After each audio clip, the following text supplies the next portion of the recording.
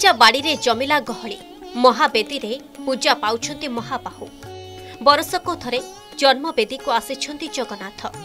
ଗତକାଲି ରାତି ନଅଟା ସୁଦ୍ଧା ମହାପ୍ରଭୁଙ୍କ ଆଡ଼ପ ମଣ୍ଡପ ବିଜେ ନୀତି ସମ୍ପନ୍ନ ହୋଇଥିଲା। ମହାପ୍ରଭୁଙ୍କ ଚନ୍ଦନ ଲାଗି ସହ ମହାସ୍ନାନ ନୀତି କରାଯାଇଥିଲା।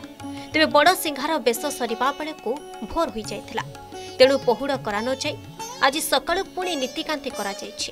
ତେଣୁ ନିଦ୍ରା ଯାଇନାହାନ୍ତି ଶ୍ରୀଜୀଉ। ଅନ୍ୟପଟେ ଶ୍ରୀଜୀଉଙ୍କ ଆଡ଼ପ ଦର୍ଶନରୁ ବଞ୍ଚିତ ହୋଇଛନ୍ତି ଭକ୍ତ। ମହାପ୍ରଭୁ ଯେତେବେଳେ ପହଣ୍ଡି ହେଇକିରି ଆସିଥିଲେ ଆଡ଼ପ ବେଦିକି ତାଙ୍କୁ ବହୁତ ଶ୍ରମ ହେଇଥିଲା। ସେ ଶ୍ରମରେ ତାଙ୍କ ମୁଖାରବିନ୍ଦରେ ଅନେକ ଧୂଳିକଣା ବାହାରୁ ଯେହେତୁ ଆସିଛନ୍ତି ତେଣୁ ତାଙ୍କୁ ସାଷ୍ଟାଙ୍ଗ ହେବା ପାଇଁ ଦତ୍ତ ମହାପାତ୍ର ସେବକଙ୍କ ଦ୍ୱାରା କସ୍ତୁରୀ ଚନ୍ଦନ ଇତ୍ୟାଦି ସୁବାସିତ ଦ୍ରବ୍ୟରେ ତାଙ୍କ ମୁଖ ପ୍ରକ୍ଷାଳନ କରାଯାଇଥିଲା। ସେଟାକୁ ଅଧର ପୋଛା ବୋଲି କୁହାଯାଏ। ଏଇଟା ହେଉଛି ମହାପ୍ରଭୁଙ୍କର ହେଉଛି କରପଲ୍ଲବ। ମହାପ୍ରଭୁଙ୍କ ହାତ ସଦୃଶ୍ୟ ଏଇଟା। ମହାପ୍ରଭୁ ତ ହାତ ନାହିଁ ସେଇଟା ହେଉଛି ଫୁଲରେ ସବୁ ମହାପ୍ରଭୁଙ୍କ ତିଆରି ହୁଏ। ଏଇଟା ପ୍ରତ୍ୟେକ ଦିନ ବଡ଼ ସିଂହାରେ ମହାପ୍ରଭୁ କରପଲ୍ଲବ ଲାଗି ହୁଅନ୍ତି ହୃତପଦକ ଲାଗି ହୁଅନ୍ତି କୁଣ୍ଡଳ ଲାଗି ହୁଅନ୍ତି ଶିଳ୍ପରେ ଲାଗି ହୁଅନ୍ତି ମସ୍ତକରେ ହେଉଛି ଅଳକା ଲାଗି ହୁଅନ୍ତି ପ୍ରତ୍ୟେକ ଦିନ ସବୁ ମହାପ୍ରଭୁ ବଡ଼ ସିଂହାରେ ଏସବୁ ଲାଗି ହୁଅନ୍ତି ଭକ୍ତମାନେ ମହାପ୍ରଭୁଙ୍କର ଆଡ଼ପ ମଣ୍ଡପ ଦର୍ଶନରୁ ବଞ୍ଚିତ ହେଉଛନ୍ତି। କାହିଁକି ନା କୋଭିଡ଼ କଟକଣା ଯେଉଁଭଳି ଭାବରେ ଲାଗିଛି ଆମେ ସମସ୍ତଙ୍କୁ ସେ ନିୟମ ପାଳନ କରିବାକୁ ପଡ଼ୁଛି। ତେଣୁକରି ଆମେ ମହାପ୍ରଭୁଙ୍କ ପାଖରେ ପ୍ରାର୍ଥନା ଏତିକି କରୁଛୁ ଯେ ମହାପ୍ରଭୁ ଆଗାମୀ ଦିନକୁ ଏସବୁ ଜିନିଷ କେମିତି ଦୂର ହେଇଯାଉ କୋଭିଡ଼ରୁ ସାରା ବିଶ୍ୱବାସୀ କେମିତି ମୁକ୍ତ ପାଆନ୍ତୁ। ବାହାରିଲା ଆଡ଼ପ ଅଭଡ଼ା। ଦୁଇ ଦିନ ହେଲା ରଥରେ ମହାପ୍ରଭୁଙ୍କ ନିକଟରେ ଶୁଖିଲା ଭୋଗ ଲାଗି ହେଉଥିଲା। ତେବେ ଆଜି ଅନ୍ନପ୍ରସାଦ ଭୋଗ ହୋଇଛି। ସକାଳ ଧୂପ ପରେ ବାହାରିଛି ଆଡ଼ପ ଅଭଡ଼ା।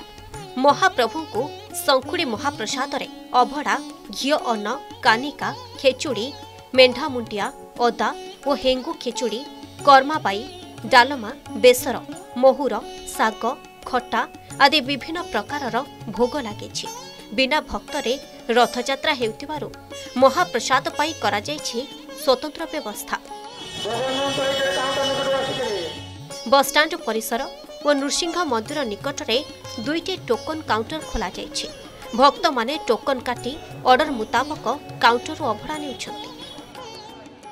ଗଲାଥରକ ଯେଉଁଭଳିଆ ଅସୁବିଧା ହେଇଥିଲା ଭକ୍ତ ମହାପ୍ରସାଦରୁ ବଞ୍ଚିତ ହୋଇଥିଲେ ଏଥର କିନ୍ତୁ ଆମେ ସ୍ୱର ମାସୱାନୀ ଯେଉଁ ତରଫରୁ ସ୍ୱତନ୍ତ୍ର ବ୍ୟବସ୍ଥା କରୁଛୁ କୌଣସି ଭକ୍ତ ମହାପ୍ରସାଦରୁ ବଞ୍ଚିତ ହେବେ ନାହିଁ। ବହୁତ ସୁନ୍ଦର ହେଇଛି ଟିକେଟ ସିଷ୍ଟମ କରିଛନ୍ତି ଭିଡ଼ ନାହିଁ ଆଉ କରୋନା ସମୟରେ ବହୁତ ବଢିଆ ବ୍ୟବସ୍ଥା ହେଇଛି।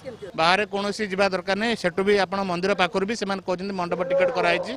ଆସିଲେ ଯେତିକି ଆପଣଙ୍କ ପ୍ରାପ୍ୟ ଜଣଙ୍କ ପାଇଁ ଦୁଇ ଜଣ ପାଇଁ ଯାହା ନେବେ ସେତିକିରେ ଖୁସି। ଆଉ ପଇସା ତ କିଛି ନୁହଁ ଭଗବାନଙ୍କ ପାଖରେ ଆମ ପ୍ରସାଦ ପାଇଲୁ ସେତିକି ଆମ ପାଇଁ ବହୁତ ଖୁସି କଷ୍ଟ ବୋଲିକିରି ବାପା କାହିଁ କଣ ହୃଦୟ ଫାଟି ଯାଉଛି ଲୋ ଧନ ଲୁହା ଆଉ କଣ ତା ପାଇଁ ତ ଭାବି ଭାବିକିରି ପଚିଶ ଦିନ ହେଲା ଆଇଲାଣି ଆସନ୍ତା ଶୁକ୍ରବାର ମହାପ୍ରଭୁଙ୍କ ହେରା ପଞ୍ଚମୀ ନୀତି ଅନୁଷ୍ଠିତ ହେବ। ଅଭିମାନିନୀ ମହାଲକ୍ଷ୍ମୀ। ନିଜ ସ୍ୱାମୀ ମହାପ୍ରଭୁଙ୍କୁ ଦେଖିବା ପାଇଁ ଗୁଣ୍ଡିଚା ମନ୍ଦିର ଯିବା ପୂର୍ବରୁ ଆସନ୍ତାକାଲି ଦତ୍ତ ମହାପାତ୍ର ସେବାୟତଙ୍କ ଦ୍ୱାରା ବନକ ଲାଗି ନୀତି ଅନୁଷ୍ଠିତ ହେବାର କାର୍ଯ୍ୟକ୍ରମ ରହିଛି।